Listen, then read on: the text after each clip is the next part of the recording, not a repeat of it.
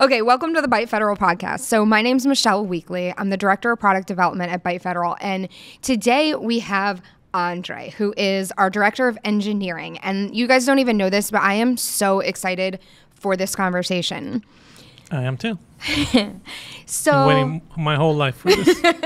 it's true. It's true. He's been like, uh, he didn't even know that he was going to become, unfortunately, a subject matter expert on communism. yes. But he totally is, and I am here for it. So I run my mouth online a lot about communism.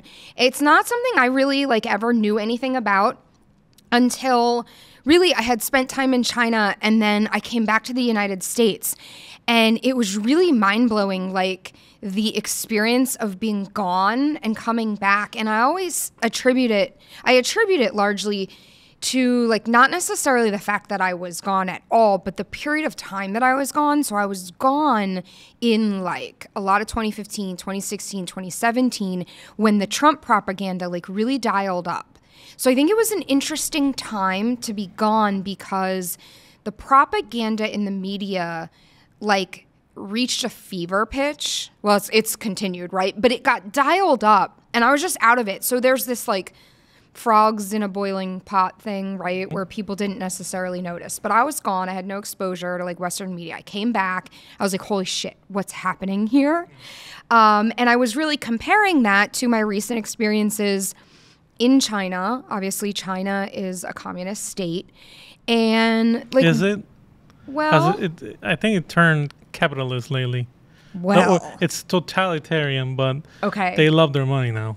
so you don't think it's a true communist state? They used to, but I, Okay. I, I think they moved on. They're keeping their their totalitarian grip. okay. So you don't think China's like really a communist state at this point? No, I, I think they're totalitarian, but they definitely love their money now.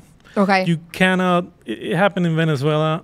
These people ran out of money, right? Okay. So, wait. So- let- So first of all, when you when you're like distinguishing between communism and totalitarianism, like what even for normal people is that really distinguishing I think you between? can still, like for example, in in in Russia, Yeah. you have Vladimir Putin who's been there for what over twenty years now, yeah. and the guy's probably the guy's probably gonna die in power. So probably a dictatorship. He's pretty much a dictator. Yeah. Nobody, nobody dares say anything because you get killed, of course. Right. But it's capitalist. You can't maintain nowadays. They, I think they all realize that you can't maintain. Maybe North Korea, it's a different, a little bit different It's there. like its but own. Yeah. That's its own thing. Yeah. Because now everybody's just poor, but you have this military grip that if Yeah. you say something, they send you to a camp. But China too. you gotta, but you, you they need their money. They, Right. They, so it's like a blended Yes, structure. And, and Venezuela, I think, went to that point, or it's going to that point too, where sure these guys are doing everything to stay in power, yeah. but they cannot opened up the markets. They pretty much reversed most of the economical policies that Chavez implemented In Venezuela. in Venezuela. Okay. So Well, so I just want to complete a timeline here. So, you know, regardless of whether it's like a true communist society or they've moved more to like totalitarianism, whatever it is that's happening in China, I think there's this massive disconnect for a lot of Americans where they look at some of these communist, formerly communist, totalitarian countries like China, Russia, Venezuela, and they don't understand that it could happen here. And by some measures, I think it is happening here. Um, and that's what I really like want to talk to you about. So I've learned so much since being at Byte Federal from you, and it's really it's alarming, but it does, you know, it, it always helps to like have more information, right? And so you're full of information. Um, I had sort of suspected and started studying these things under the like suspicion that there was a lot happening here in the U.S. that was similar to what was happening in China, and people had just called me crazy. Like people, you know, really, really didn't want to talk about it um, until 2020. And when COVID happened, people kind of came back and said, like, holy shit, I can't believe that they're locking us down. Maybe there's more to this. Um, and I think that that has opened up the conversation, but there are still massive parts of the population that are completely blind to it. Even people that are maybe more awake, you know, and open to the ideas. I don't think that they understand really how close we are. Um, so you've made many comparisons. You know, things happen all the time, and we get these great rants in at the office. Yeah. Um, where you're like, oh my God, I saw this happen in Venezuela. rewatching This is, history. ex- yeah, it's like rewatching history. So I want to touch on as much of that as we can. Um, for maybe for people who are listening who don't know much about Venezuela except it's communist and their money is kind of worthless. Uh, can we do like a quick 101 on what Venezuela used to be like? So, Venezuela was not always a communist state. No. Okay, so let's go back I to don't think that. ever.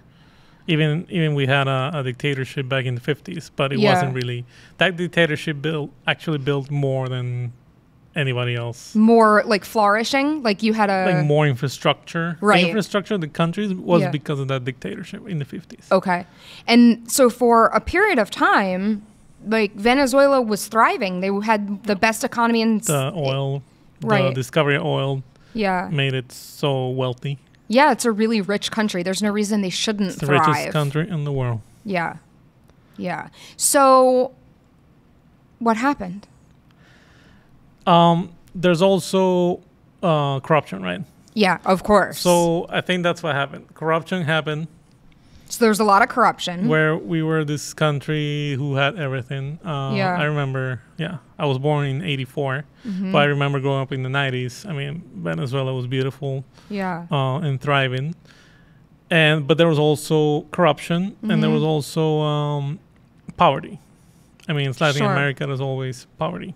Was there a middle class in like the 90s? Yes, There I think that was. was the majority, though. Okay. The- so the majority was middle class. Right.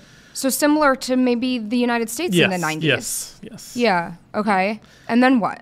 Um. politically because we're gonna we're gonna follow a few Yeah. threads i want to talk about money specifically Yes. Uh, since we're working in bitcoin but first i want to talk about the politics and the political setup and then we're gonna go back and look at the money and then of course we'll talk about the comparisons we're seeing here in the states but politically what happened So in 1992, yeah the president that was there, I mean, the and that was who he was a uh, Carlos Andres Perez. okay Uh, he was a little corrupt, sure. Mm-hmm. I mean, he stole like, but it's funny now, now that they they compare of how much the guy stole to compare to what Hugo Chavez or, or Maduro have Right. stolen from the com- from the country, and it's just the the amounts are just insane. right So sure, he stole some.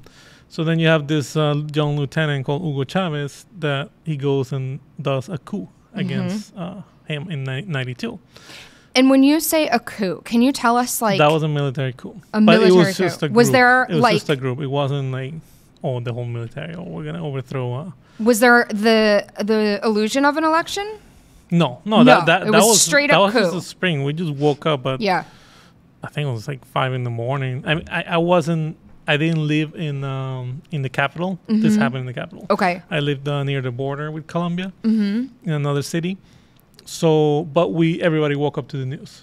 Was he like? Was he involved in politics before? No. Chavez. He No, wasn't. So he, he just wasn't. shows up and he takes over the country. Yeah, he Okay. just showed up. He wanted to topple the president because Right. he was corrupt or whatever. So they they claim that the president's super corrupt, and so we have to take him down because of this. Yes. Okay. And did people go along with it? Were there protests? Were people upset? Was there any like? So there was some fighting. Uh, the the coup failed. Um, throughout the day, it was you know uh, uh, what do you call that? Uh, So there was like an attempted coup where first. people can go out. Um, protests, No, the- lockdowns, uh, curfew. curfew. I meant. Okay, so they put a There curfew were, in there were curfews like you couldn't go out or anything because they were Mhm. trying to you know the military was trying to lock down, you know, get rid of the coup. Like, Okay. So um, they eventually they failed. They uh, Hugo Chavez came into TV, and um, and he called the others to put down their arms and no more spilling of blood and all that stuff. Okay. And uh, that's when the coup ended, and then he ended up in jail. Okay. So it's kind of like resemble like the Hitler story, Mm-hmm. pretty much where he did a coup and then he ended up in jail. Yeah.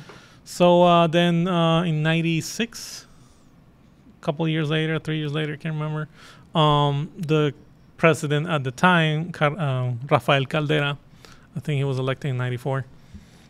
um, he decided to release Hugo Chavez from jail. Okay. So they only gave him, he only served like a little bit of time. Were they friends or did he just say, like, you know, we don't want to have political prisoners? Was there like more to it or just, all right, they let him out? Mm, I'll probably have to research. Okay, no that. problem. But I So, know that yeah. Caldera was, um, he was being to politics since like forever, since Okay. like the 60s and 70s. Right.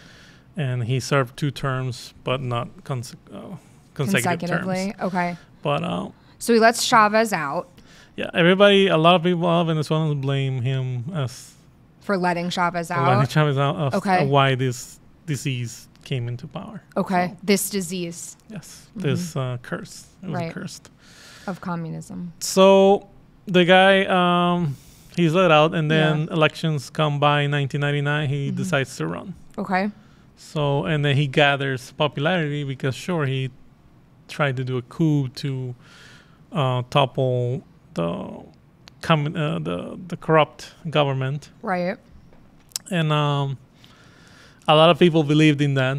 That that They was a big believed in mistake. Chavez it was in the uh, beginning. Yes, Okay. it, it was a that was a mistake there too Yeah. for the people to vote for him. My mother, I know my mother, she did not vote for him. She she hated the guy, Okay. And But a lot of people liked him. a lot of people liked him. He Okay. he got um, elected democratically.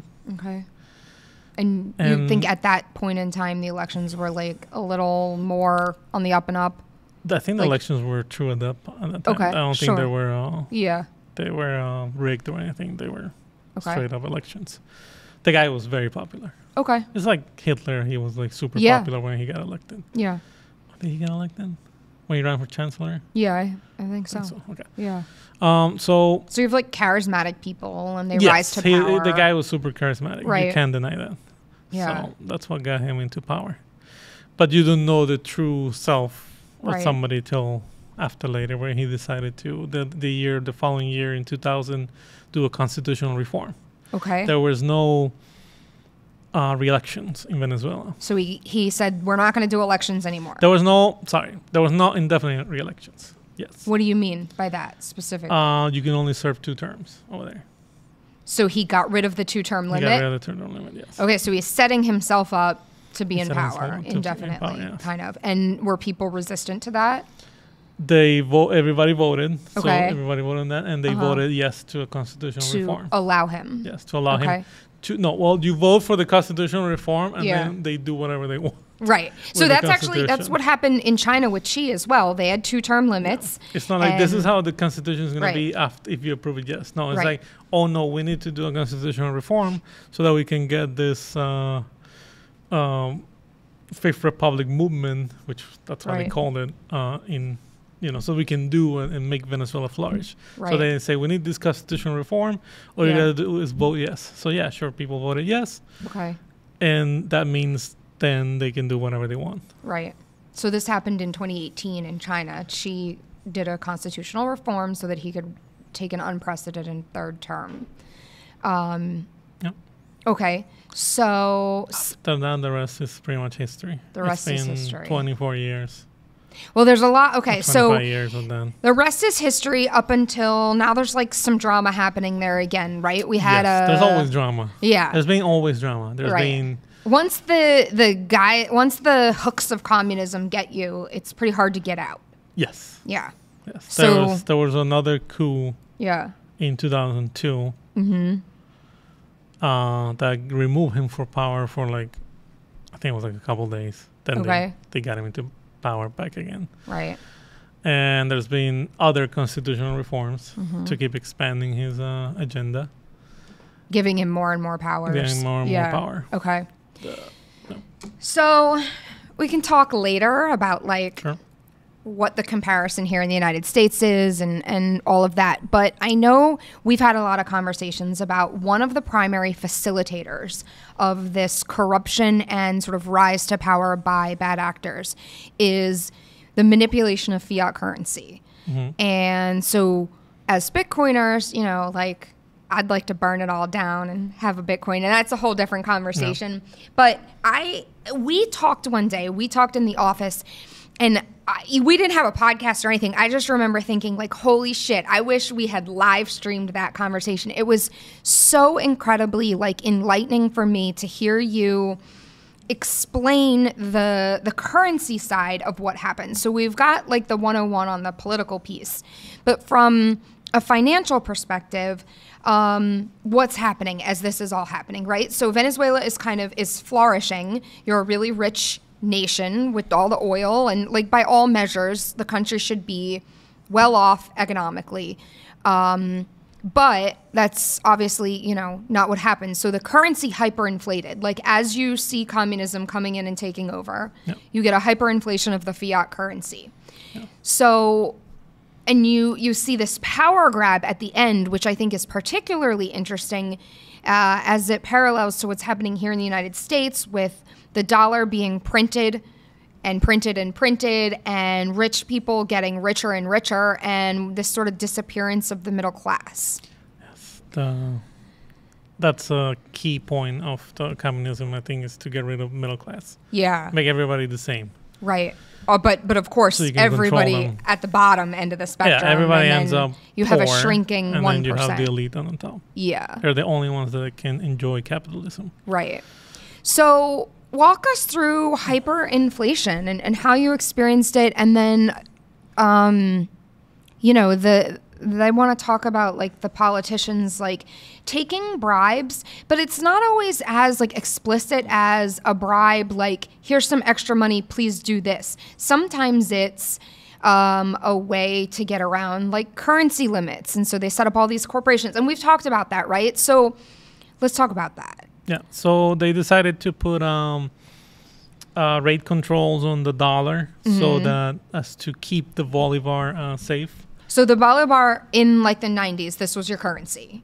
I mean, yeah. it, it's the currency of Venezuela. It's always been, yeah. They haven't yeah. moved on. They're using uh, multiple currencies now, and I don't think the government cares what they're using right. now.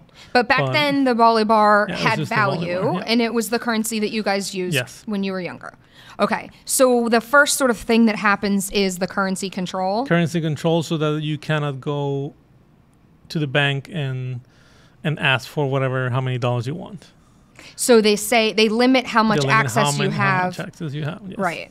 Okay. So and it started big, um, like big chunk. Like you can go and get.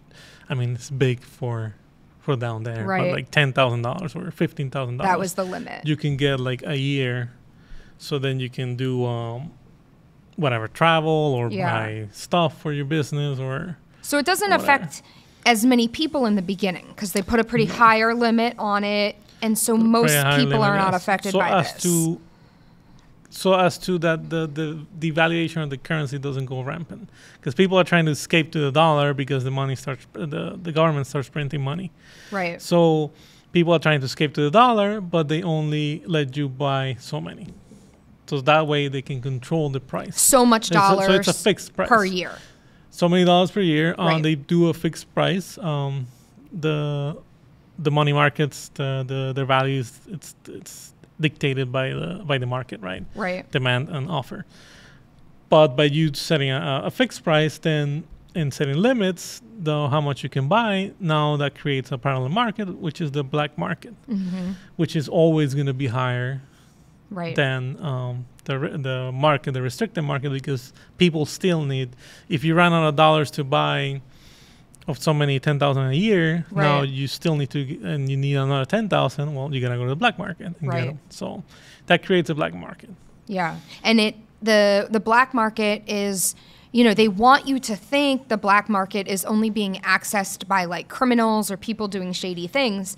But as the currency is inflating and the money is, you know, your $10,000 or whatever it is per year, it buys you less and less. So the percent of people who may consider going to the black market grows and grows. And you're like really shrinking.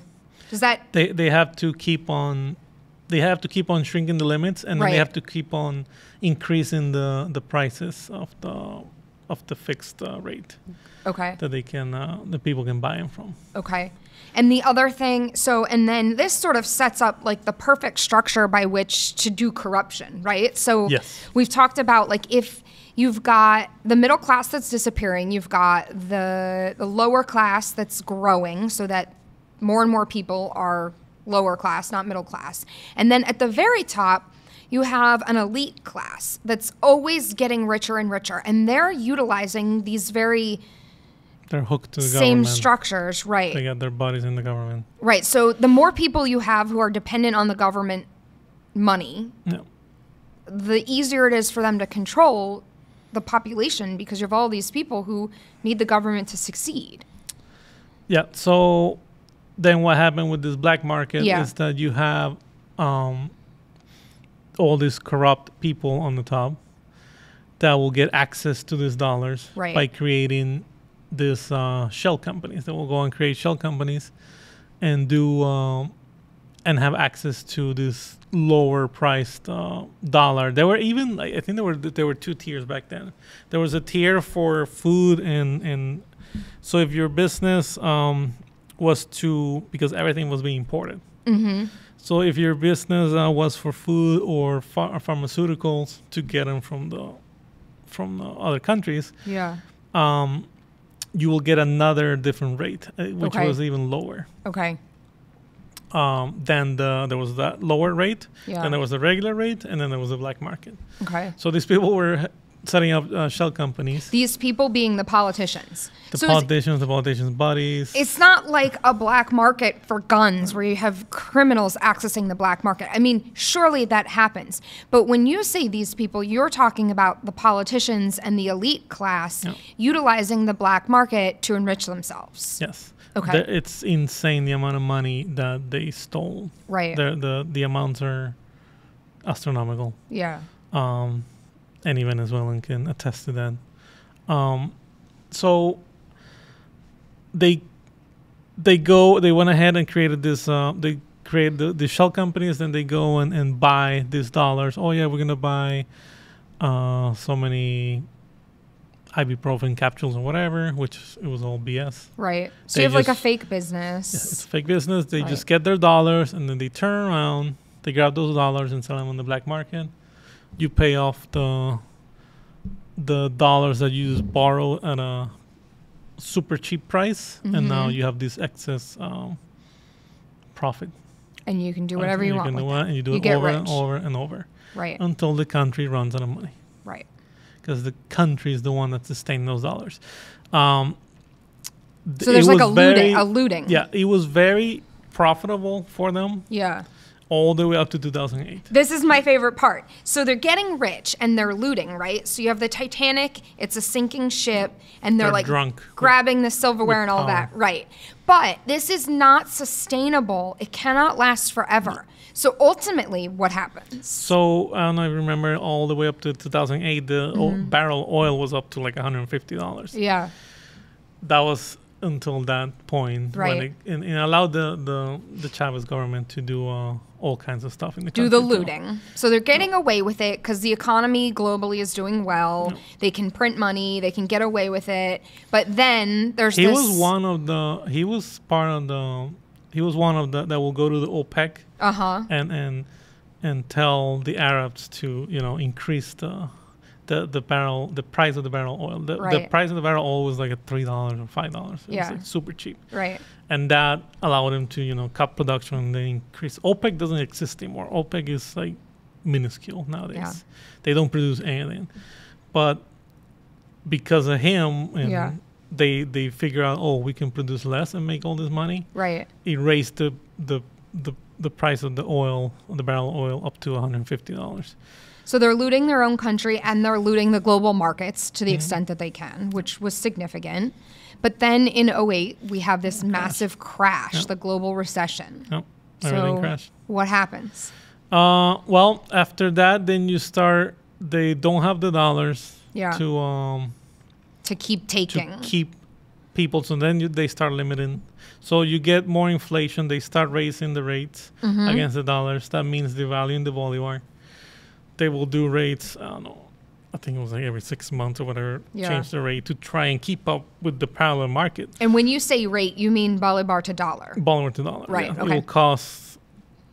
So I think it was like if it's six dollars, then Mm-hmm. it'll go to sixteen dollars. I mean, s- sixteen bolivars per dollar, and then it will go to thirty-six bolivars per dollar, and it will, they will keep increasing and limiting the amount that people have access to. So it Right. went from ten thousand dollars a year to five thousand dollars a year, and I remember I think in 2014 you can only get like two hundred dollars a year to crazy. with your credit cards to go and buy something like from another country. Right. And that ended. All the whole thing ended because yeah, they It ran out, they ran out of dollars. Right. So the whole thing collapses. They killed the industry, the, their, the oil industry too. So they Right. they nationalized the oil industry. They nationalized the the metallurgic industry. They nationalized everything. Right. But then you put um, ignorant people Right. to work at this uh, at these uh, companies that were used to be private. right. All all you gotta do is put on a red shirt, and then you can Yeah. work uh, for uh, for this company. Right. And then you kick out the engineers. Then The smart people. The, exactly. The Right. thing, the whole thing collapses, Right. and they're now not, and they stop producing, and that's Yeah. why Venezuela doesn't produce any oil, like barely, It's crazy. and they have to import. Right. So It's really wild. So there's a lot of comparisons, I think, to what's happening in the United States. And I think also it's really interesting. Um, you know, we talk about like the hyperinflation, for example.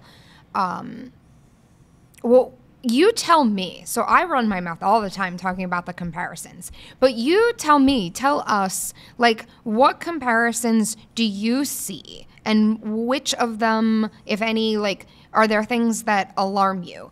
Um, you know, I, I'm alarmed by like Kamala Harris talking about potentially putting price controls in place. yes, I was gonna say Um, just then. Um, that was a big uh, mistake. That They- happened. Yeah. It happened in, in Venezuela. They moved away from that because it was Right. unsustainable too. right. All it does is creates black markets. hmm It creates a scarcity Yeah. because the producers don't want to produce this bottle of water at 50 cents because it doesn't cost them 50 cents. It costs them 70 cents to produce. Right. Um, And so they can't make any money. and then they what they do is the because now they're producing less they grab this bottle of water the people grab this bottle of water and then they went around and sold it for a dollar right. so then that creates scarcity and then creates this black market where the only th- way that you can buy food over there was off the black markets and you'll have to pay pretty much international prices Right. uh, that happened a lot in where i used to live because uh, we were next to the border Mm-hmm. And people were doing that and Right. sending the food and the medicine across because the prices that they set then they were ridiculous. Yeah. It's like they said this bottle of water to be sold at two cents, Yeah. and who's gonna like that, that, that that's for an example for medicine. Right. The prices were ridiculous and, Right. and they were so low that they will grab that the two cent uh, ibuprofen uh, box Yeah. and sell it for like fifteen dollars. The profit margins were huge, so people were grabbing that. The people were uh, also Yeah. complementing to the whole disaster by doing that, right? Right. Right. It wasn't you, just the government, sure. but people got to survive. I was gonna say you you get to a point where you really like have to do what you have to do. So they will send Um, that across, Right. sell it overpriced, they'll make their money. Yeah. And the other thing with that was with gas. Okay. gas was since like forever that I remember it's oh it was always like a this fix it was like a Bolivar 97 or something like that it was like super low Yeah. Ninety-seven cents. it was well, um subsidized okay. the gas in Venezuela because there were we were so rich and Yeah. we had so much oil it was always subsidized Okay. that was one of the measures Yeah. that um, Carlos Andres Perez Uh-huh. uh, in 91 or 92 Yeah, when, early when 90s. Chavez did the coup Yeah. that triggered that also. Now I remember that that coup. Okay. Uh, they call it Caracazo Mm-hmm. because um, they uh, they he decided to raise the price of gas by a little bit just to Okay. keep up, you Right. know, the, with the with what it's the price is supposed to be. Sure. Okay. Um, you can't just inflate a, a, a, a, um, a currency and Right. Adjust and for adjust for the Sure. other stuff. So because of that, Yeah. um, that w- that's what that uh, Caracazo happened. And that was a major revolt. Everybody in Caracas went out. I think that was before Mhm. the what was this? Can't remember. I think it was before the coup. Okay. Um, and it's sort um, of part of the, the timeline. yes, that that's what led to the coup. Also, Yeah. the that discontent for for this president. For a little bit of an So- adjustment. Since forever, Yeah. Politicians are always or were always not anymore afraid of raising the gas prices Okay. because it could trigger something like that. Yeah. Um, so it wasn't until like I think it was 2018, 2017 when they started doing prices up to or, or they will have like two um, types of gas stations. One where it was international prices Okay. For supposedly for foreigners where Yeah. they come in with the cars, and that was after they opened up the borders. But Okay. uh, where they can come in and um, and fill up their gas at a I it's like a dollar per gallon. Yeah. And there were the there was the other one for Venezuelans, which was super. So if the one was a dollar per gallon, this one was like five cents per gallon. okay. But you're limited to Right. how much you How can much you can pump have. a week. Okay. It was a pain in the butt. Yeah. people going doing lines Right. uh, for two or three days. So if you're wealthy and you can afford the foreign gas, I'm sure they probably Yes. like look the other way and let you buy it. Yeah. But they're also, you know, but that's not, not, for everybody that, no. Right. You have Yeah. people were doing like lines in, in, or queues in, in in their cars waiting Right. for two or three days at the gas station for the truck to come in and pump the gas Right. so they can then pump and continue to live on with their lives. So is this coming soon to a Western country Yes. near you? um, one thing I think that we probably can all agree on is that the middle class in the United States is disappearing. Maybe disappearing, maybe not quite disappearing, but the middle It's class is process. shrinking. It's a slow Right. process. This didn't happen fast. It's been 24 years. Yeah. It probably took so those first initial eight years till the collapse in 2008. Mm-hmm. Then around 2012, it started getting bad. 2014 was hyperinflation in the In Venezuela. in the millions of percent of the Right. do- of the bolivar. yeah. So it's a slow process. Right. They they just don't turn on the heat because then Sure. everybody's gonna revolt. Right. They slowly uh, drive you into out of the medium class. Yeah. So the middle class is kind of being driven out. I see, you know, we've talked a lot about America being in that sort of looting stage where the wealthiest of the elite are getting richer. I think we saw this during COVID where the 1% uh, increased their wealth a lot. And I don't have the numbers, but a lot. And, um, and a lot of the middle class really structure struggled. A lot of people are suffering, and, and now it's it's almost common that a lot of people can't afford groceries. Yeah. Like this is a harsh reality, um, but I think it's a reality that really needs addressed because obviously it's not sustainable. But I think also from like a higher perspective, there are big red flags that people need to be aware of. This is not like just things being run poorly. A lot of what's happening in the US is by design. I would I would venture to say. It feels like it. Yeah. And we've seen it happen over and over many, many other places. Um, so there's, you know, there's the destruction of the middle class, there's mass printing of the fiat currency. So you have the dollar that's worth less and less, which helps to, again, continue to shrink the middle class Gun control. gun controls. So this is a big one. So Americans do not give up your guns. Don't ever. So what happened with the guns in Venezuela? They got they were they were illegalized. Like illegal. So they were they were legal. You were Yeah, you allowed to have guns, yeah, just like guns. America. Yeah. You had guns, people had guns. They weren't like big like America. Oh, I gotta have my guns. like gun culture. no, but you there, had. there, there was no. I didn't grow up with a gun culture. No. Yeah. But Did your people family have guns. a gun? There was uh, there was um, an armory right next to on, the- on the corner. I remember okay. as I was going by, and there were there were many. So when Well, did that's why I guns get banned? Did they come and forcefully take them? Did people turn them in? How did that? No, how did they just, get? They just legalized them, and uh, no, they didn't. so they made if it you illegal. get caught uh, on uh, the problem with there is that like if you're if you're like traveling in your car or whatever and then so they militarize everything so now Okay. uh, there's freaking uh, what do you call those uh, checkpoints. checkpoints Mhm. there's checkpoints everywhere Yeah. everywhere you travel so if i go maybe not on the highway but let's say i go somewhere and then by us 41 there's a checkpoint there yeah. and then um this run What by military checking? Bullshit because Just- they're all corrupt Right. Right. So, maybe they will just stop you, and because Right. they're corrupt and they don't make any money, Yeah. they want you to uh, give them some money. give them to, money. Here's to twenty some, uh, bucks, yeah, hundred dollars. Yeah. Yeah, to bribe them so Okay. they can be happy and live on with their lives. Right. And that's what's also sustaining this whole thing. Yeah. So bribery s- stuff. they make guns illegal. They sort of start militarizing things. They put checkpoints in Yeah, place. you can, you can. If they, you get caught with a gun, yeah, they'll throw you in jail. They take the the, only gun, ones that are allowed to have guns were the Right. bad, the bad guys. But it wasn't always that way. No. So, did you wake up one night and guns were illegal? Did it happen over time where they say like this type of think gun and then that in type? the constitutional reform. they reform the Constitution. when- the now guns are illegal. yeah. Okay. and um, yeah, people just gave them away and, and or hid them or Right. they just you don't just you just didn't want to get caught with, with, with a gun. Right.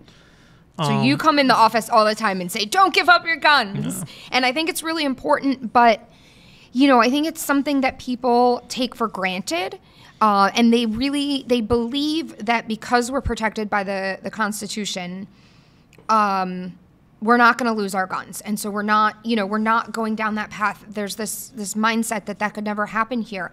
But if you don't protect the Constitution, yeah. you don't have the protections. Yeah, you have to protect the Constitution too, because the, anything that the government um, does over there, it's against the Constitution. Like they don't follow the Constitution at all In Venezuela. in Venezuela. Yeah, Right. So, the Venezuelan Constitution is very well written. yeah. It's clear. It's it's great. It's not. It's not a totalitarian constitution when you read it. But it's not enforced. Well, it's not enforced. Right. It's the constitution for the stupid people, not for them. Right. They do whatever they want. So, is it alarming to you when you see things happen here that are ruled unconstitutional, but then they Yeah. happen anyway? Yeah, I think that a lot of, of these laws that they build on top that pretty much contradict the constitution. The laws. So, in Venezuela, they put laws in place that were not constitutional, but they just did it anyway. Yes. Right. Exactly. Okay. And I that's what's concerning to me about that is I see a lot of that happening here. Mm-hmm. And you have some people that see it and they're sort of screaming their heads off, but most of the people are either saying no it's not happening or it's happening, it's a good thing, or they're just like, "Oh my gosh, I'm overwhelmed. I don't care. Can you please leave me alone about this?" But it's really like you know, there's no one coming to save you. Like you have to uphold the Constitution, and Yeah. this this is like it sounds possibly crazy, but like we are all responsible for upholding the Constitution in our lives, in our local communities, um, and then by extension in our states, because the federal government is never going to like they're never going to give us power back. They're never going to say, well, we have these powers, but JK, we don't want them anymore. You know, like there's this continuing overreach and it's not going to stop. So I think COVID is, is obviously like a really good example. We saw during COVID, Um, yes, there was a lot of rights there that were broken. that were taken. But you saw states, and even more so than states, like local communities fight back against the unconstitutional mandates. And it came down to like, did your your children's school require vaccination? Did they require masks? Did your local community dictate this or that? Did they close these things? Did they, you know?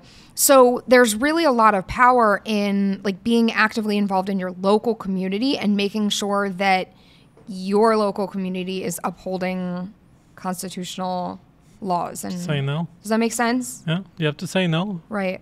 Um, it's just funny how the, this whole thing is like, oh, you got to take these vaccines, these vaccines. All of a sudden, one day, oh, the data changed, Right. and now you don't have to. Right. like out of nowhere. Yeah. like, what the heck? Well, this this All these people that got kicked out of the military because Yeah. they didn't take the, the shots. Right. Um, I think this sort of brings up another thing that we talk about a lot, which is the media. And do we have uh, a media, like a free and fair media? Is it covering things honestly? Is it like, I think at this point, most of our media is just state sponsored propaganda. Yeah. I know this is a, a tool that is extremely important um, for totalitarian regimes. Very important. Yeah. So, can you talk a little bit about the media? Like when you were younger, was the media like more honest? And then how did that sort of parallel? I assume now it's not really honest at all. And did that, what are the parallels um, as communism is taking over? What's going on with the media? So before um, Chavez took power, there was this one uh, state Mm-hmm. television, the only state television that there was. It was called Venezolana de Televisión, and um, VTV. It was state sponsored, state sponsored. and they were honest about that. It was the worst freaking channel that you can turn in, into back in the nineties. It was so bad. In and in there what was no way? entertainment. Like, I guess be, maybe because it's government sponsor and, uh, and whoever worked there was like so lame, but okay, it, there was no entertainment out of it. so it was Nobody just, will watch it, right. but it was there. Mm-hmm. So, um, these people go into power, Yeah. and that one got reformed, Okay. and he got capital injected, and of course, Right. because they want to share, They prop that one they up. want they prop that one up Yeah. so they can do their propaganda, and then Yeah. they created like two or three more different. Um, Was there like an illusion of options? Like these people In the talk this way, these people no, talk. the, but there's th- Yeah. there were the private ones, hmm um, and then there were the ones that they created, which was just like two or three more besides the one that that was there originally. Okay. and we had like I don't know ten in total maybe, and there was um the private ones, um they they will always sure try to say the truth, but when you started reporting um bad stuff about the government, Yeah. um you will get this entity to come and find you Okay. because you can't say You're not that. allowed. exactly. Right. They Okay. created those entities Right. to So perhaps like the Ministry of Disinformation. The the Kinda. entity uh it was um I remember the name of the name I just don't remember Yeah. what its letter meant, but it's Okay. uh, it's for it's for it's uh it's an entity that regulates um, telecommunications. Okay. And was and there? you can say and you cannot see. do they pretend that it's for your own good? Like, or was there really at that point no illusion of that? It was just like you can't talk. no, everybody everybody started seeing that whenever they spoke Yeah. uh, wrong this this television channels they will get fined. Wrong. Th- so you can't have wrong think. S- and Yeah. and, and so there were the private ones Mhm. and there were the state ones and then little by little the the private ones got bought Taken over. or taken over So by you get um, a centralization of media, and that enables complete Yeah. control eventually. it was up to like 2014 when the last one Yeah. which we like everybody just realized in the end that right. the president like he, was in cahoots with with the, The with the government Various. Okay. and they ended up just turning like like another one and uh, and, and at that point now there's no more free uh There's no like, honest. there's no free media anymore Yeah. Okay, so I think we're at like a really interesting point in time. What bothered me so much, I talked about It's spending almost like the same over here when when that right now you say that Right. only maybe only Fox is the one that right. that's sort of free, but then there's also you can almost tell that they just cannot openly say anything. right. They certainly So, can't. So you like- think everything's controlled but Fox at this point? But I think that just Fox but just they're also along. controlled. yeah. Right. So, okay, I want to talk more about this. This is this was the thing that was the most alarming to me and like I get a lot of heat for comparing the United States to China, especially as it relates to like media and state-sponsored propaganda. But the thing that was so jarring to me coming back to the United States was how dishonest everything was. So in China, there's no illusion that you have like a free and fair press, right? Nobody pretends like you just you turn the TV on, they're talking, but obviously it's propaganda. You know that. And here, I think um, a lot of our disagreements are based on the fact that we're living in different realities. Like, Yeah. do you, it kind of comes down to like, do you trust what's on the TV or not? Do you know that everything on the TV is a lie or not? And really, a lot of the divide comes down to this. And so I'm interested in like, on your take. I think it starts that way, and then everybody ends up when they end up when it comes to them when they start getting fucked by the government. Yeah. That's when they realize, Everything and was a lie. too late. right. and that's where we are now, where everybody, like, it's not in agreement with the government, and Right. but it's too late. So I think it starts that way, and and you have the people on the left and the people on the right Yeah. who, the ones on the left, like they believe whatever they're saying, but, um, The ones on the left are believing the TV. yes. Yes. So that's what makes the lefty. Until they start hurting their pockets, which that Mhm. comes later, yeah. that's when they're gonna realize that the economy is not doing so well, even though my TV told me so. exactly, and Right. and and it may be too late that to even overturn it, right? Right. Because at Right. that point now the guns are gone. They have the strict control over you. You can't say anything. They'll throw, they'll throw you in jail. Yeah. And, you know, something that doesn't get a lot of like airtime is the fact that America has political prisoners. Yes. You The know, whole the whole thing that um that they were doing to Trump, where Yeah. they're persecuting him. the lawfare. The lawfare. Right.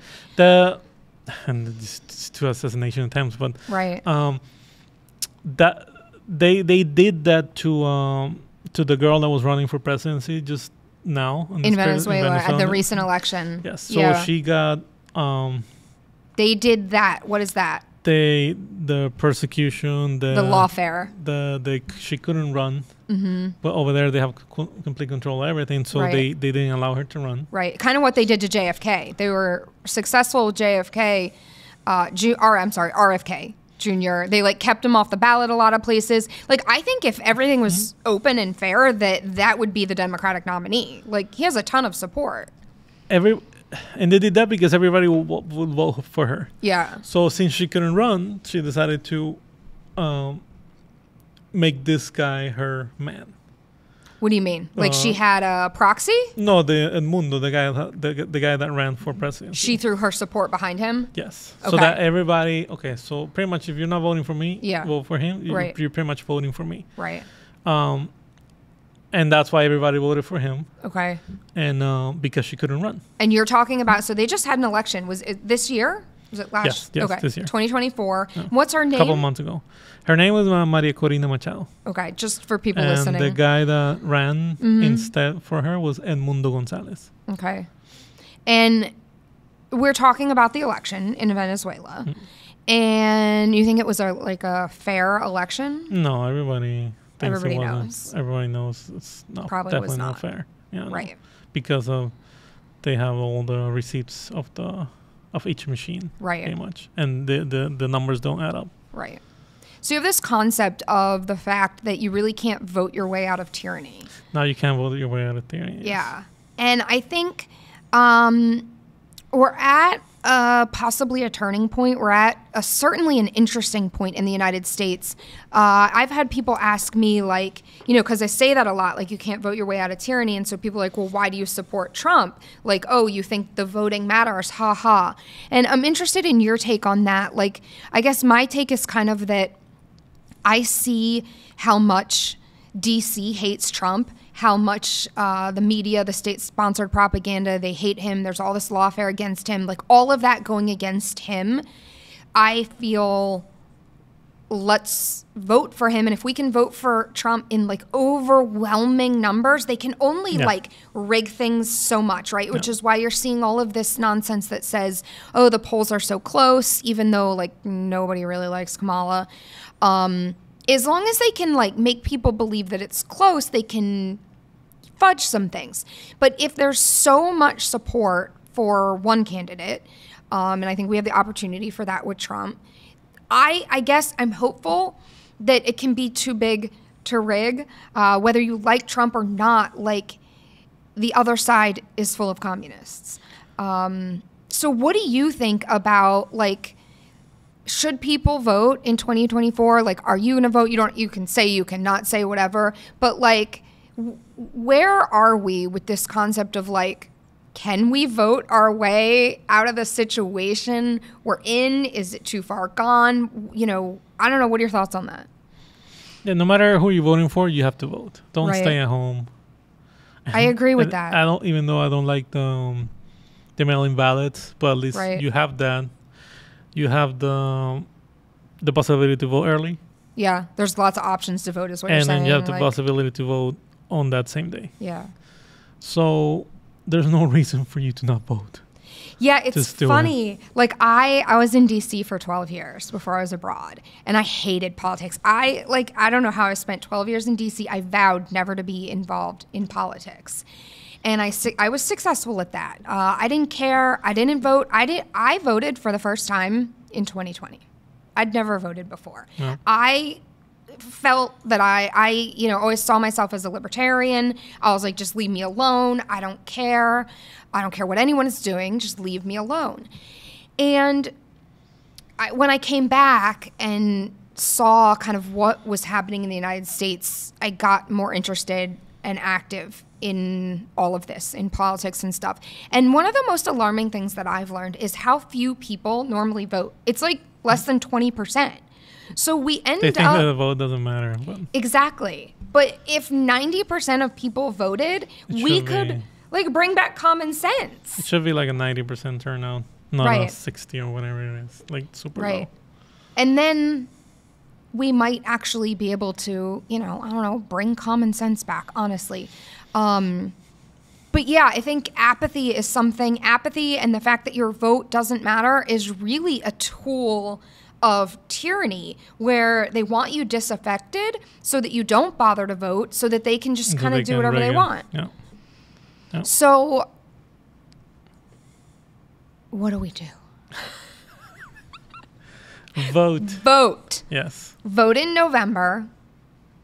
Vote. Vote And smart.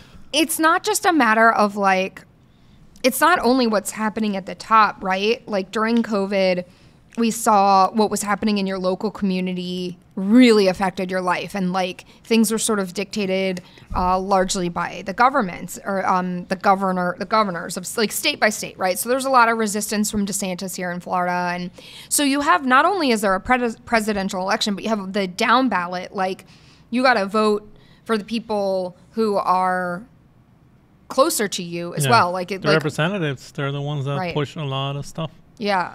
And one thing that I think maybe people don't realize or think about, like, I think when I was younger and I was thinking, like, oh, I don't care, leave me alone, there, there's really, uh, there's disillusion in that, in the fact that, like, you are not going to be left alone. There are rules that we have to live by and you're a member of your community, you are bound by like the laws of the country where you're a citizen, where you're residing. Um, and if you choose not to vote, then you're going to end up bound by the rules and laws of the craziest people who are voting for the craziest people. Yeah. Definitely. So you are going to be like, you might not want to be involved in politics, but politics is involved in you, Oh yes. period. So the, all these laws that they create, they, they affect Right. you. Right.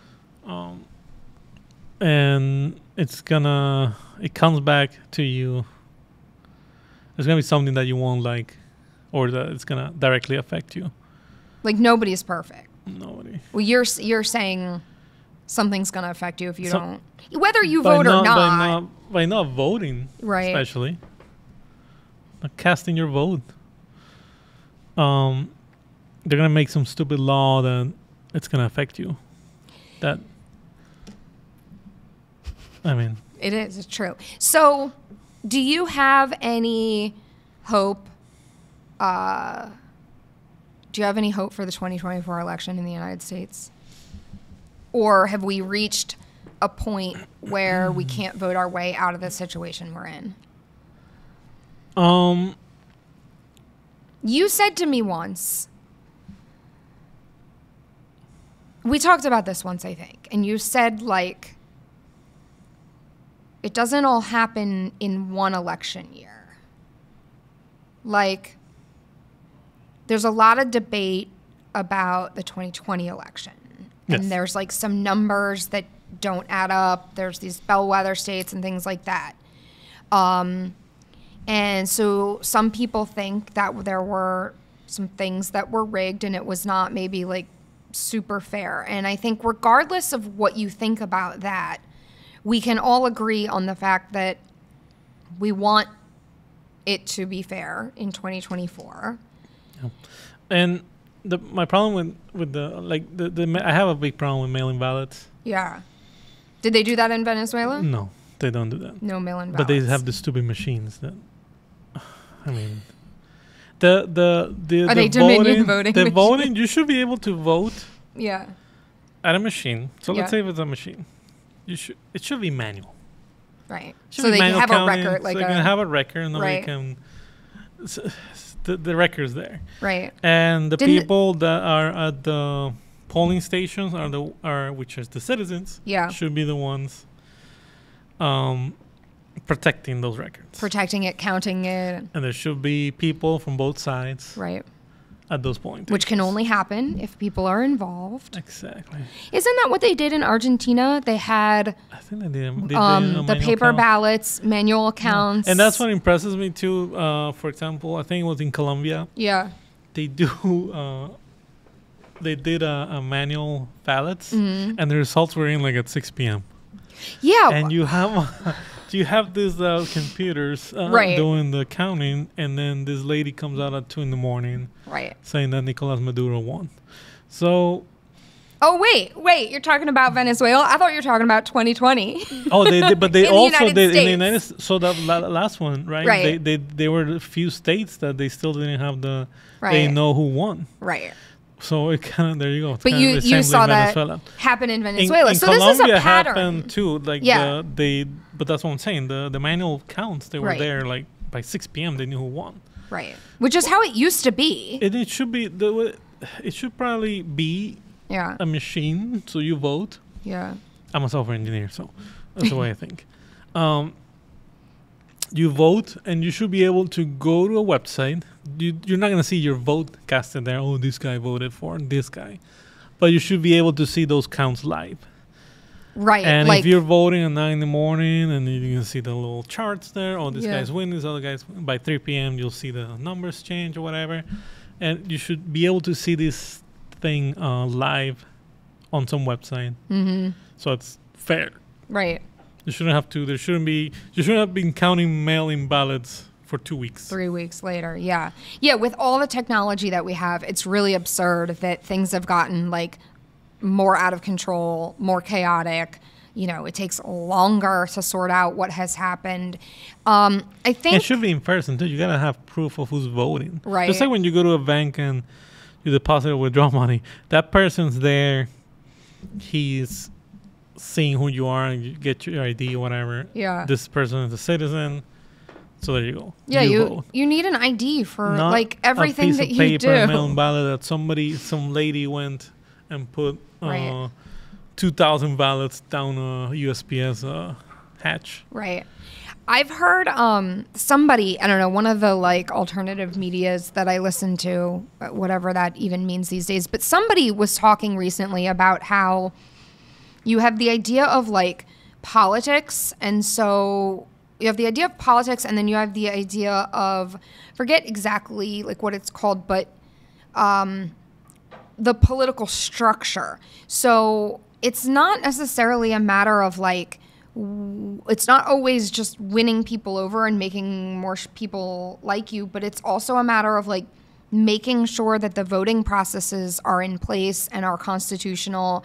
And I think that one side does that a lot better than the other side, unfortunately. Um, it's like the political structures. If there was any will to actually change all of this and do it like free and fair and open, it'd be very easy to do. I mean, there's a will, there's a. there's a way. Like Yeah. we could like, write uh, the code. I um. I um. I like to give the example of Bukele Yeah. in El Salvador. When there's a will, there's a way. This guy got rid of all these gangs in like Right. a split second. So what do you think about that actually? So there's like mixed uh, mixed reviews, mixed thoughts on some people say that that was um, oppressive or tyrannical or you know like President, the people that are killing you in the streets that have no human rights, or or Right. they're in jail without whatever, or they're being forced to work, or right. I, to those people I would say like okay go live in El Salvador and we'll let them all out and then you let us know what you think should Yeah. happen. Um yeah. The will like they can easily close the border over here. Here in a the US. Yes, absolutely. And but there's no will. Right. Because there's probably an agenda behind it. yeah. So I mean, I'm, I'm an immigrant, right. but and I but I do see the problem of of this mass immigration. Yeah. You well you came here legally. Yes, And actually we work with like most of most of we have the guys we're working immigrants. with are a- immigrants. yes. I would say I'm actually in the minor- minority at Byte Federal. Um, you Yep. know, having been born in the United States. And that to me is something really special. It's something uh, it's one of the reasons, quite frankly, that I was excited about us doing this podcast because we have all these really valuable conversations in the office with all of this insight from people who have already lived through the things that are happening now in the United States. And you might not want to listen to me running my mouth, comparing things to China, but you really better should be listening to people who have already fled communism and are trying to raise red flags about what's happening here in the United States. yes. Like Andre. I don't want to flee to another country. Yeah, so Lennart says that a lot. Like, cause I, I tried to leave. I went to Dubai. I was like, get me out of here. I'm gonna go somewhere else. But ultimately, for anyone that has tried to do that, um, I actually I have a friend that went to El Salvador and like, There's a reason why everybody wants to come here, yeah, it's not it's flee. easier said than done. Like when you leave, like you have to do visas and things like that, and your family. It, it's complicated, Oh, right? Like, so there's really a lot to be said for staying and like trying to save America, and especially from anyone that has already fled their home country, and you've come here. We have to save the country for you guys. Like if if we lose America, like where are we all gonna flee to? Yeah. I think there was one that when uh, fled Cuba, went to Venezuela, then things got bad, and she went to Argentina, then sh- things got bad, and now she's over here. You have a friend that I did think- that, or we have someone at And there Byte was somebody. There was somebody. right? I heard a story, Okay, and we So- have, uh, and we we us as Venezuelans, we used to say, "Oh, that's not gonna happen. We're not Cuba." wait when you were younger. When when In this stuff was Venezuela. happening, or Yeah. the- when, or people were saying, "Oh, Chavez is gonna do this, Chavez is gonna do that," Yeah, and we're like, "No, it's not. We're not Cuba." We used to say that stuff like that. that's really Oh interesting because that's what I hear a lot here in the United States. They say that we're not Venezuela. Yes. Mm-hmm. So, what do you say to those people? Uh, you're so wrong. It can happen. It absolutely can. Empires rise and fall. hmm So, no, it can totally happen. America can fall, and uh, it may be in the process of falling.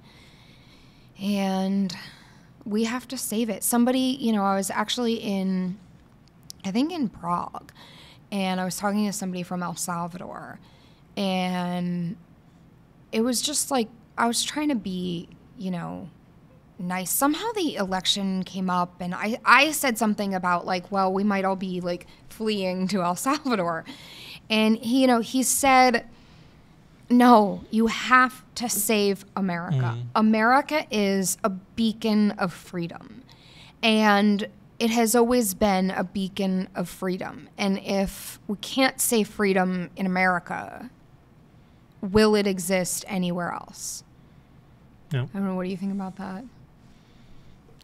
There's this is the last place I think Yeah. Where else? Uh, I used to I, I used to think that Canada was free, but no. Oh, it's terrible out Uh, there. Toronto, I think Toronto's beautiful. yeah. Been there, but the way that this the stuff that this guy did during Trudeau. COVID, yeah, Yeah. he's a commie. Yeah, during COVID, it was really, really bad there. Um, and then we saw a lot of the, you know, the warnings. I think what is happening in Canada is like a lot of the stuff that's actually happening there are the same things that we see like warning signs in the Kamala Harris campaign and even maybe a little bit of like whoever, you know, whoever was propping up Biden. I think there's there's a lot of that happening on that side, and that if Trump doesn't win the election, we're really gonna sort of follow in Canada's footsteps, and and ultimately, it's possible, you know, Venezuela's.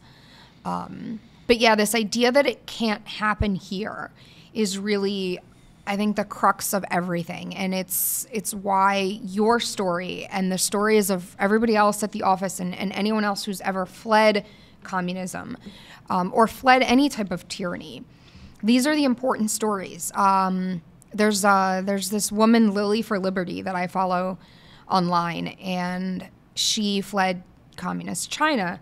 Um, her parents were killed during the Color Revolution, and she says, you know, so sort of all the same things that you say, It's and a it's a recipe. It's a cookbook, yeah, And they're that, following that it. was taught by the Cubans. The Cubans have so much influence in Venezuela Mm-hmm. that they gave them all the recipes how to oppress a Right. people, and do you think and S- and they got it from the Soviets.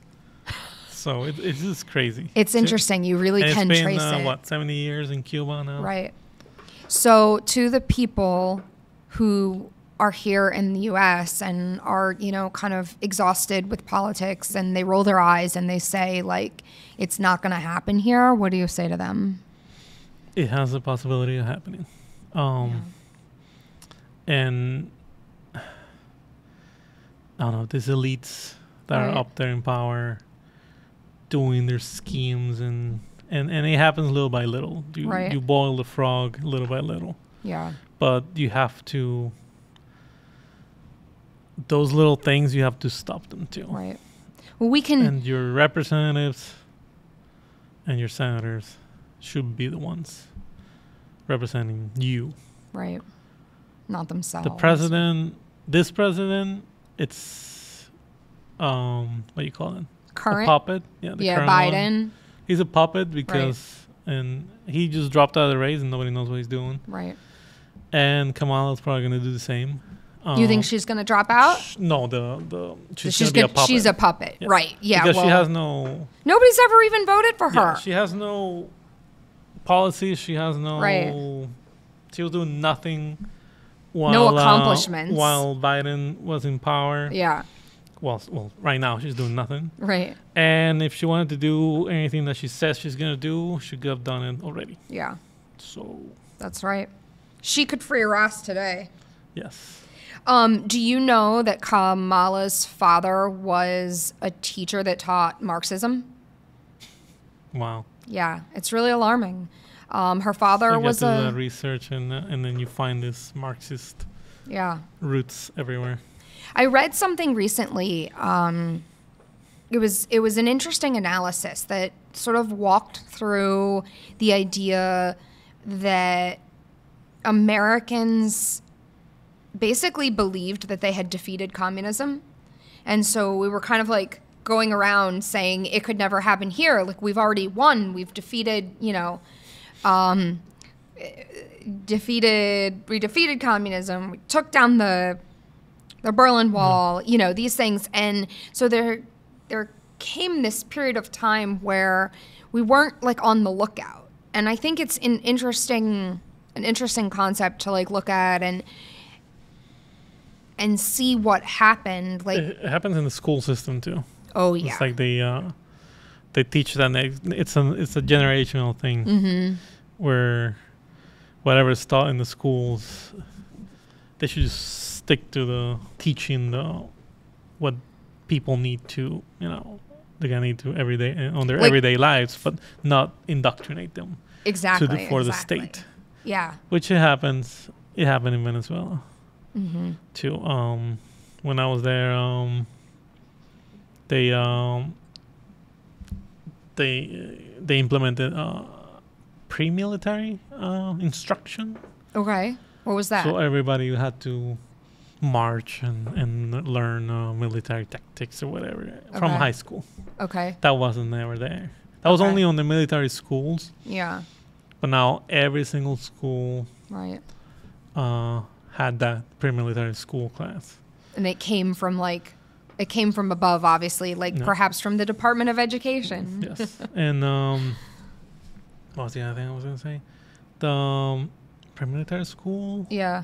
So they're and then na- implementing. the the national police. That was the other thing that what did the National Police? implemented. That the before it was just um, like each city or whatever they had their police, Their own. their own police. Okay. Um, stations and Yeah. they created this national police in the, in national police academies Okay. and they recruited every single kid out Yeah. there to do their bidding So more centralization, which so gives they can more control. and they were i mean you're hi- you're you're they were hiring the kids out of 18 years old and giving them a gun and here Yeah. go protect the people but Right. they were just bribing people like not bribing like taking bribes from people for because they oh we're in the police now and Yeah. and they were like they will stop you for whatever and let's see what you got there and It's not really like actually looking for the good of the people. They're more just like they become puppets because they the were all because they- they were puppets of the state Yeah. and because they were all kids with no Right. They weren't adults you can't Yeah. give all these 18 year old kids guns and then go protect the people right. like we have enough problems with corrupt police Yeah. now and there's like there's old people and whatever In Venezuela. not like in the us Okay. Yeah. so now imagine giving a bunch of kids right. 18 year olds uh, Letting them take over. and then take over It's kind of like what happened they, in the they're summer. gonna do the government's bidding that's what's gonna happen Right. Yeah, because they don't know any better. They've been largely propagandized by government run schools. You know, people don't like to think of public school as a government run school, but that's exactly what it is. And we have seen, as you mentioned, generation after generation, where like the core learning, your math, your sciences, like the hard hard sciences have completely deteriorated. Yeah. You know, they've lowered the standards. Um, they've really just watered it all down. So you have like idiots now. Idiots that can't read, they can't write, they don't teach um, script, you know, script like cursive. Can you write in cursive? like all right i i use not in English, maybe not in english Okay, but in but as a Spanish. in spanish i was taught in cursive but in english i don't know i think it's kind of hard to put the word together in That's all English. right. We'll give you a pass. If you can write cursive in any language, I think it's good for the brain. But they don't teach it anymore. No. Um, they don't teach cursive, and there's a lot of things they don't teach. Some oh, places, they're useful puppets for the state. yeah, That's what they're teaching. Yeah. yeah. So there's just all of these structures in place, and they kind of like all come together.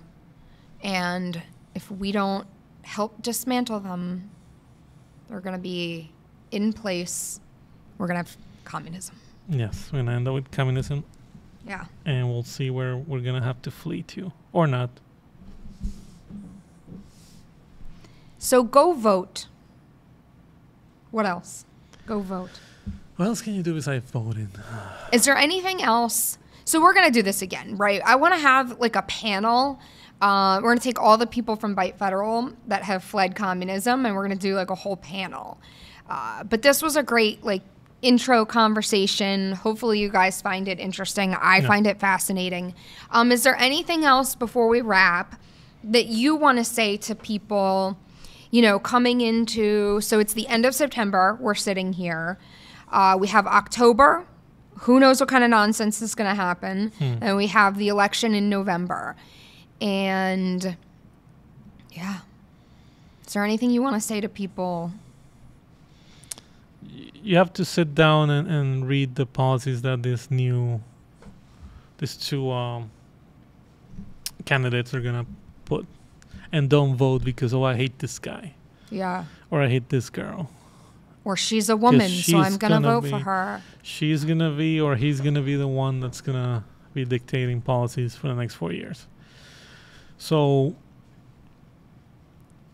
do your research, vote with the heart. Don't vote because some media told you because this guy said something or he or she said something. So turn your TVs off. Yeah.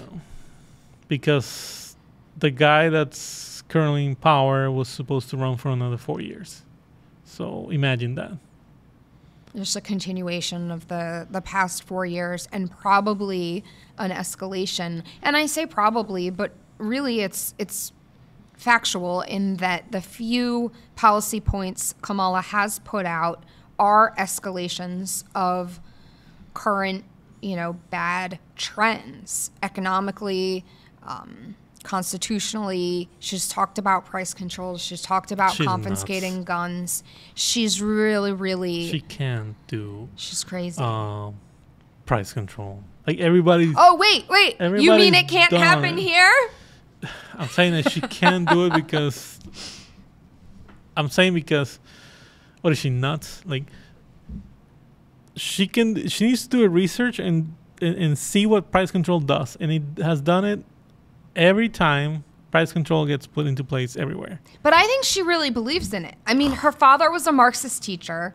She's got her comrade uh, what's like his name? He, we're all telling you what what's gonna happen with price control, right? And she's still gonna do it. She's gonna do it because she's a puppet. She's been, you know, she's being, I think, largely dictated to, but also, you know, it's interesting because I think Biden, Biden spent his whole life in politics and he was super corrupt. We see all these things coming about, out about like the Biden family making money and taking bribes and stuff like that.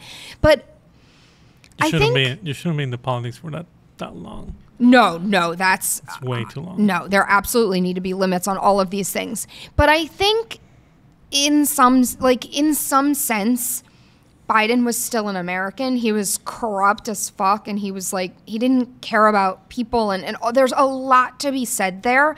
But my fear with Kamala is that she was raised by communists hmm. and she you might have like a good faith debate with people about like do price controls work? And obviously, we know that they don't. But I think the scariest thing is that she believes that they do. Yeah.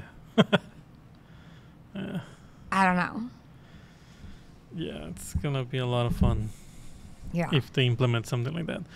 I mean, she may not implement them abroad, like maybe like what what can, what price control can she do?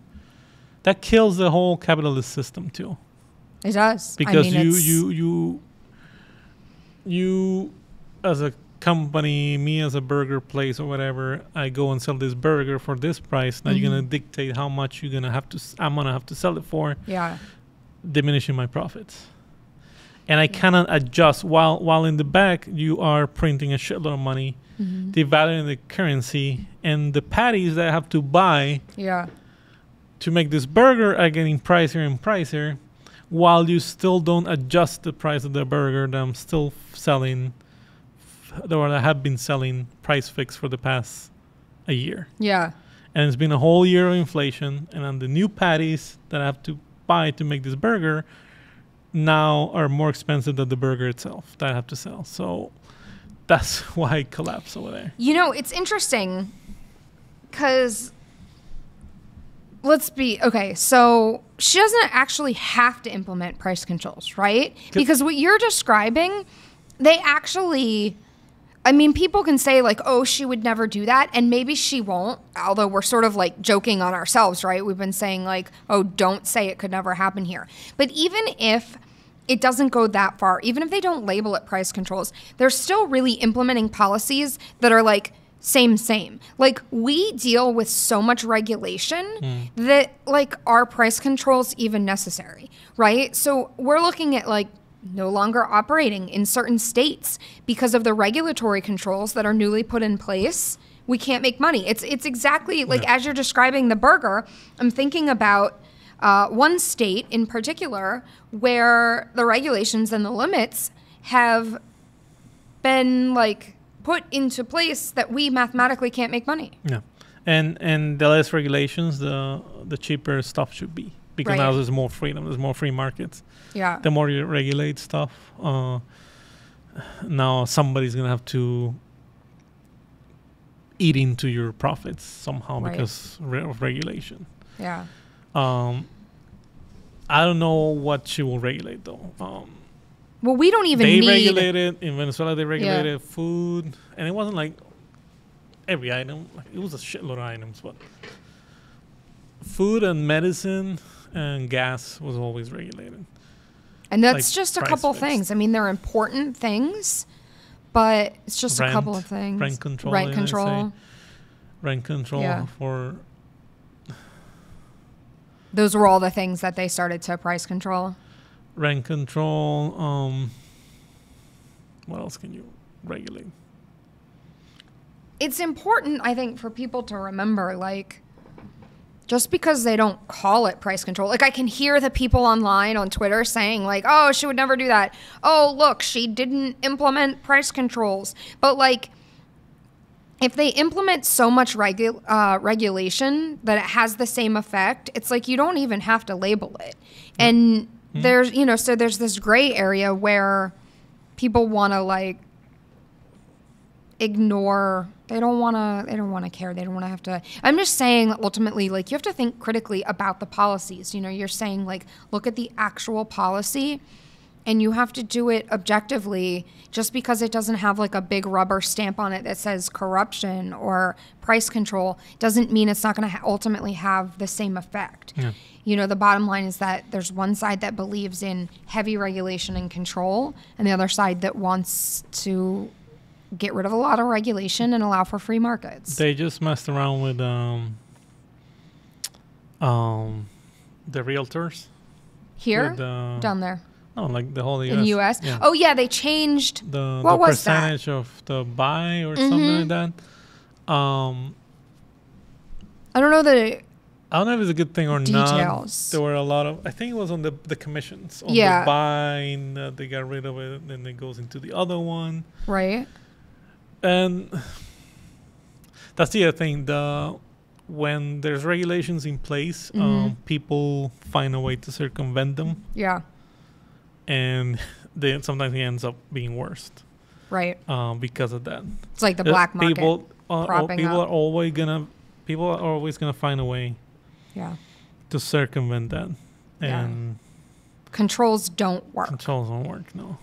It's like saying, "Oh, we're going to put gun control in place and you'll all be safe." Well, Mm, yeah, it's gonna it's gonna be the opposite. Yeah, only, the places only the bad guys are gonna the ones that are gonna have guns. Yeah, the places with the most gun laws end up having the most gun crime.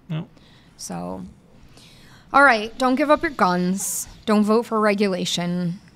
Go vote. Vote for something. vote. Hopefully you're voting for Yeah, the free vote market. For something. Yeah. Vote the day. on the day. On the day. Don't Yeah. vote by mail. Don't be lazy. yeah. And uh, hopefully they ask for your ID when you go to vote. Well, there's the SAVE Act. We didn't talk about this. Are you familiar? Safe Act. Save? Is it safe or Save. I'm not, I'm not sure. There's there's a bill right now um, that was put forward. It passed in the House. It stalled in the Senate. They refused to pass it, so they attached it to the spending, the current spending bill, and they're trying to say like if we don't yeah, and then Kamala, pass the government, Kamala cries that uh, Trump Trump didn't. stopped it. That, that Trump stopped the bill Mm-hmm. for border because this or that. While there were a lot of shit in the bill that didn't have to be in there. Right, right. Yeah, this is such nonsensory. Like they really should be voting on single issues, but of course Exactly. they don't want to do that because it would be too transparent and it would Yeah, be too immigration effective. bill that sends a shitload of money to Ukraine. Yeah.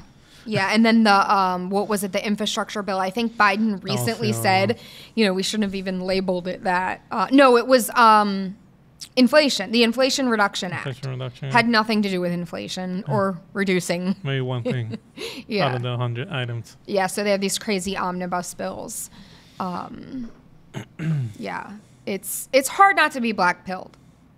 it is, um, but we have to save the United States of America because if we don't, we're going to be living in Venezuela, Yes, the new Venezuela. we're gonna go back to New Venezuela. Yeah, yeah. All right. Well, thank you so much for talking with me. And, you know, thanks you guys uh, for joining us. And I, I always, I'm bad at this part. Follow us, uh, like our channel, follow us for all of your um, anti communist content. We're going to do more of this. And if you have questions, uh, message us. You know, you can yeah. hit us up. And I love being able to go into the office and be like, you guys, what happened? Uh, in Venezuela, when this or when that or whatever, and it's just it's fascinating to me, and I think it's it's a really valuable resource, especially as we're like fighting these battles here in the United States. So I'm really like happy to be able to have these conversations, um, and yeah, hopefully stop it from happening here. Thanks for so. the invite. Yeah. And we didn't even talk about Bitcoin at all. So we're going to come back next time and we're going to actually talk about Bitcoin. Bitcoin and communism. But yeah, well, they're really related, uh, you know, because if you don't have free markets, yeah. in one way, you're going to end up with this black market for Bitcoin. Mm-hmm. Uh, you know, and this is really, I mean, we, we should have this conversation. It's a whole, it's a whole thing. And I think it really relates, it ties in in many ways. Um, when you have free markets, you can have the best currencies rise, which Bitcoin being one of them. Um, and if you have lots of regulation, you have price controls and regulation and restriction, then you ultimately end up kind of with a black market. So that's its own conversation. We'll come back and talk about that. That's good. I know there you have some thoughts on Bitcoin being I have uh, lots of thoughts. Bitcoin being um, a currency or kidnapped. a digital gold. Was it hijacked? Hijacked. We've got some hot takes, um, but we will come back. Join us again. We'll have that conversation, and um, yeah. So thank you again for joining us, and Thanks. we'll see you again soon.